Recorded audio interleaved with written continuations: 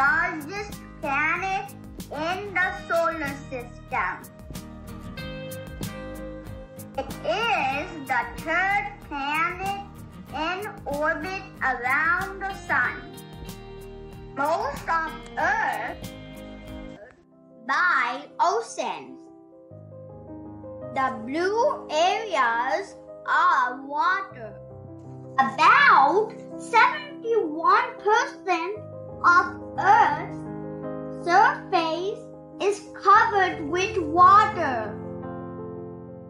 Earth is always moving as it orbits the sun. Earth spins at 1000 miles an hour. It takes Earth 24 hours to spin all the way around the sun. Do you know a fan spins at the speed of around 8 miles per hour? Which means the Earth spins almost 125 times faster than a fan. Isn't it cool? Earth rotation causes day and night.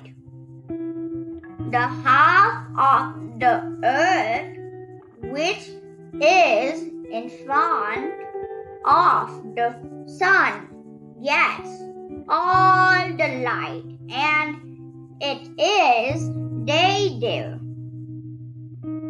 The other side of the earth faces away from the sun.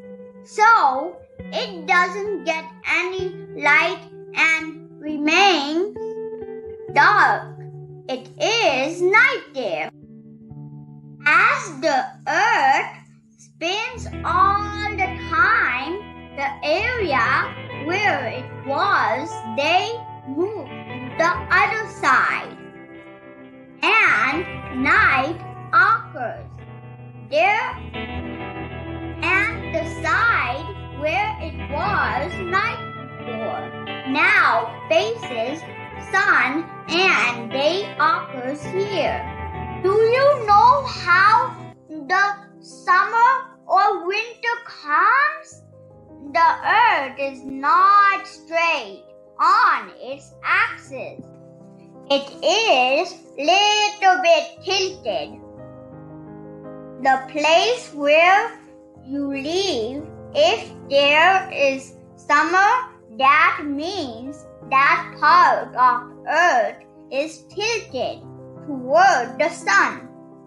When it is winter, where you live, your part of earth is tilted away from the sun. There is a strong invisible force that pulls everything on earth down. This is called gravity. Gravity keeps you and all the things around you from floating up the sky. Earth's closest neighbor in the space is the moon. It is Earth's natural satellite. The moon is rocky and cold. There is a lot to know about the moon. I will make a separate video with all the information on moon. Bye bye.